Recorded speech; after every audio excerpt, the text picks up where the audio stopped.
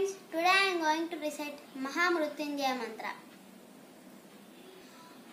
ॐ त्र्यम्बकं यजामहे सुगन्धिं पुष्टिवर्धनम् ऊर्वारुकमिव बन्धनान् मृत्योर्मुक्षीयमामृतात् Thank you for watching my video friends.